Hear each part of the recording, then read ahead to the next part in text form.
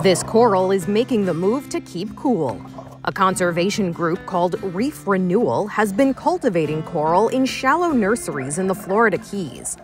Researchers say warmer temperatures are causing warmer ocean water, and that's not the best environment for coral to thrive in.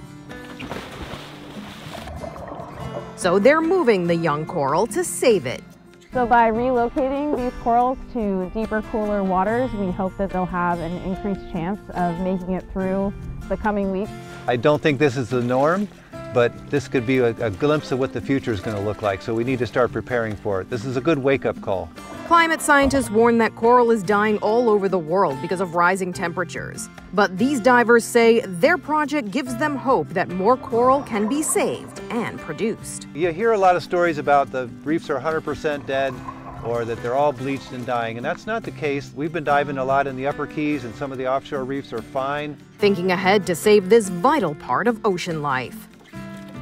For Inside Edition Digital, I'm Mara Montalbano.